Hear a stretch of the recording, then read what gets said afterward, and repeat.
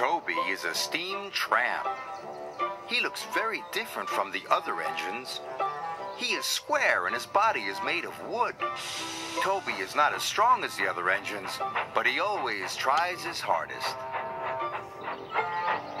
One morning, Toby was delivering some freight cars of milk. He puffed across the island and up Gordon's Hill. Gordon's Hill was very steep. Toby puffed hard. It was a long climb. Just then, Gordon arrived at the bottom of the hill. But today, the express was heavy, and Gordon had to wait for Edward to help. Bother, huffed Gordon. Soon, Edward puffed to the rescue. He buffered up behind Gordon. Edward pushed, and Gordon pulled.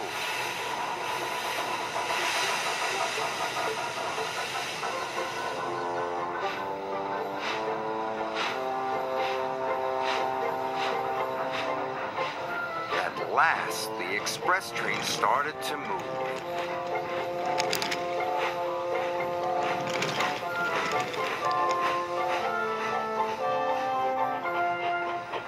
Toby had finally reached the top of the hill when Gordon puffed past.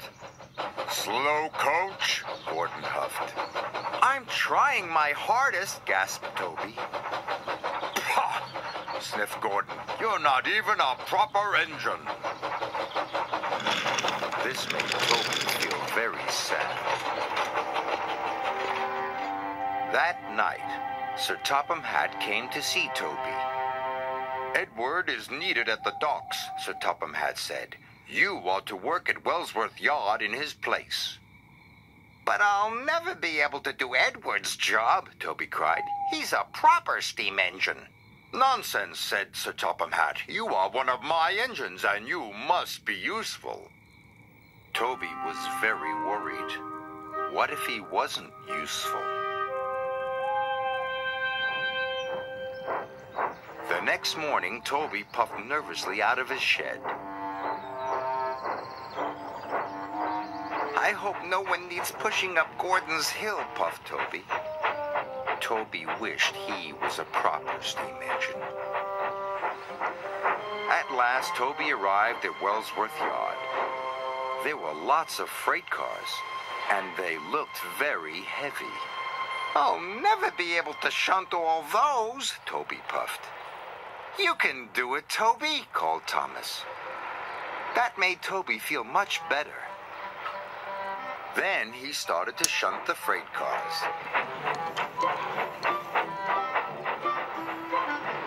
He shunted coal cars for Henry. And slate cars for Donald. He even shunted fruit and vegetable cars for Douglas.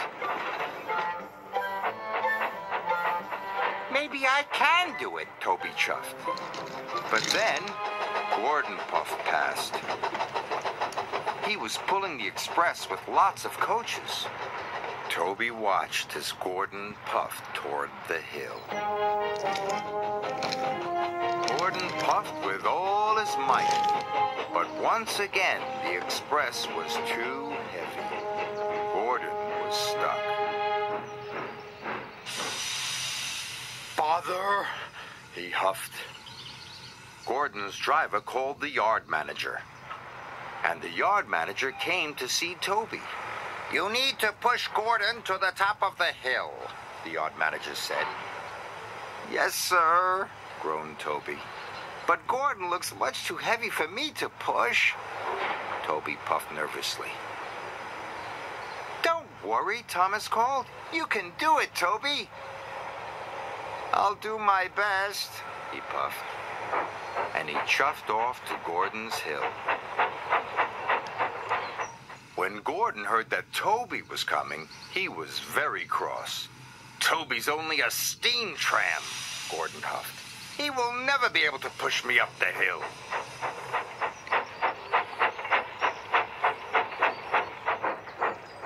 Toby buffered up behind Gordon. Then he pushed with all his might. Gordon didn't move. Is that the best you can do? Gordon snorted. They should have sent a proper engine.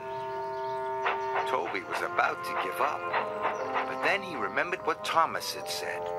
I can do it. I can do it, Toby panted.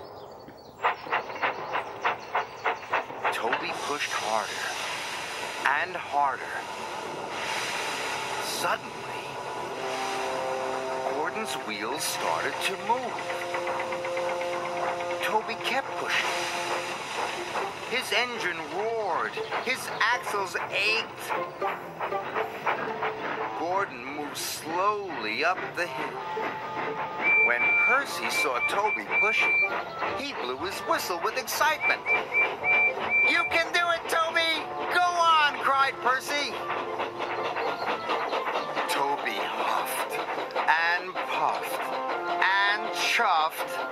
But at last he pushed Gordon right to the top of the hill. Gordon was impressed. Now his express would run on time. Toby was tired, but he was very proud. I did it, he puffed excitedly. That night, Sir Topham Hatt came to see Toby.